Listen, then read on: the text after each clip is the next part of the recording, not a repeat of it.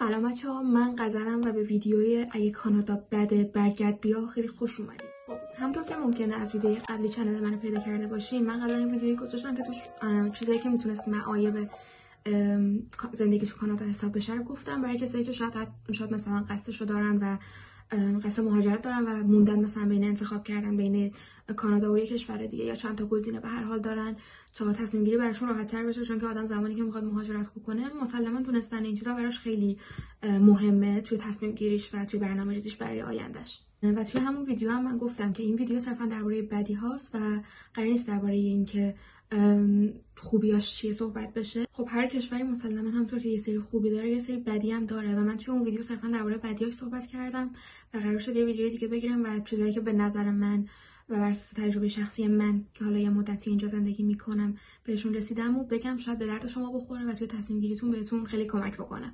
و این ویدیو درباره یه جایی میشه گفت مزایای زندگی کردن توی کانادا و خوبیایی که داره هستش. و یه نکته دیگه که هست و خیلی هم مهمه اینه که هر کشور با کشور دیگه فرق می‌کنه و ملاک آدما موقع مهاجرت برای انتخاب مقصدشون هم متفاوت از هم دیگه مسلما. یا مثلا من شخصا بین مهاجرت بین دو تا کشور یا چندین کشور مونده باشم با دیدن ویدیوهای مختلف راجع به مزایا و معایبشون می‌تونم تصمیم بگیرم که بهترین انتخاب با توجه به اولویت های من و هدف من و برنامه من برای آینده هم چی می‌تونه باشه. اینکه هم خوبی های کشور رو بدونی هم بدیاشو یه چیز خیلی واضح و ضروری و لازمه. یعنی چیزی که شما قبل از مهاجرت دربارش تحقیق می‌کنین و دنبال جوابش میگردین. خب مقدمه چینی دیگه بسته برای این ویدیو. من میرم سراغ مزایا و خوبیایی که به نظر من کانادا داره نسبت به خیلی از کشورهای دیگه. اولین نکته که به نظر من خیلی مهمه اینه که یک کشور مهاجرپذیره تا زمانی که مهاجرت نکنید به و وارد یه محیط جدید و فرهنگ جدید نشین ممکنه خیلی ارزش این قضیه رو مثلا درک نکنید یا خیلی براتون بولد و مهم نباشه. ولی من چون دوست داشتم که کشور دیگه مهاجرت کردن و اون کشورها کمتر مهاجر پذیر بودن مقایسه که کردم تجربه اونا رو با تجربه خودم به که اینجا چون که مهاجر زیاده کلن و کشور مهاجر پذیری رفتار آدم با مهاجرها خیلی بهتر و کمتر نجات پرستان است. و این به این معنیه که اون کشور یه شرایطی مهیا کرده برای مهاجرین که زندگی توش براشون راحت باشه. مثل کانادا یه شیوه های زیادی برای اقامت دائم ارائه میده و نمیگم این شیوه ها راحتن و مثلا کاری نداره و ارزونن یا هر چیزی. ما خب حداقل نسبت به یه سری از کشورها سریعتره و ممکنتر هستش. و شرایط خب خیلی زیادی هم براتون قرار میده برای رفتن به سمت اون اقامت مثل ویزای تحصیلی ویزای کاری و ویزاهای دیگه که میده براتون راحتتر می‌کنه این قضیه رو. که هر کدوم اینا متفاوتن با هم دیگه و توضیح طولانی در اگر که دوست داشتین حتما درباره اینا بهتون توضیح میدم. توی کامنت ها حتما بهم بگین اگر مشتاقین که بدونید. دلیل خیلی مهم دیگه کیفیت تحصیل. یه سری از دانشگاه های کانادا هستن که توی دنیا معروفن. مثل دانشگاه McGill یا British Columbia که با وجود اینکه شهریهشون ممکنه گرون بشه اما به خاطر اینکه امکان گرفتن fund حالا چه بخشی از تحصیل چه کل تحصیلتون هست خب خیلی شاید مطلوب تر میشه. همین که شما این option ها رو دارین خودش خیلی چیز خوبی. مسئله بعدی که هست اینه که اختلاف طبقاتی اصلا مثل یک کشوری مثل ایران نیست. یعنی شما درسته اینجا بی خانمان و بی افراد بی خانمان زیاد ممکنه ببینید یا مثلا افرادی که خیلی ثروتمندن هم ممکنه ببینید. اما اکثریت جامعه توی یه سطح متوسطی قرار دارن که می‌تونن از پس خودشون بر بیان و یه سبک زندگی خوبی داشته باشن.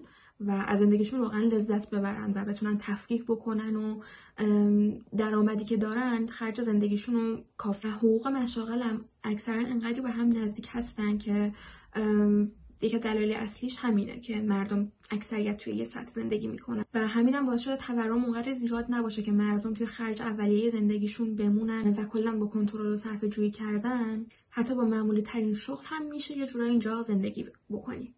نکته بعدی که به نظر خودم خیلی مهمه اینه که درست کانادا کشور سردیه و زمستونای طولانی داره ولی یه کشور واقعا خیلی زیباه. یعنی یکی از اصلی ترین چیزهایی که شما رو خیلی عاشق اینجا می‌کنه و باعث میشه که هیجان زده بشین دربارهش زیبایی که طبیعتش داره و همه جا سرسبز و خوشگله و اصلا زندگی روی دیگه ای داره. اصلا خیلی خیلی خیلی خوبه.